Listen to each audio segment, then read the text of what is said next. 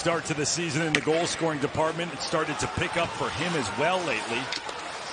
Oettinger doing his part to keep this within a goal. Here is Peterson back the other way. Fed, score, Gurianov!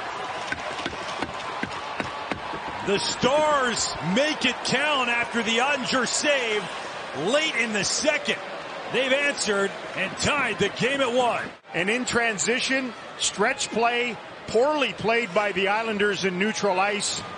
And although the youngster, the rookie Peterson has not collected a lot of assists, this is excellent. Right into the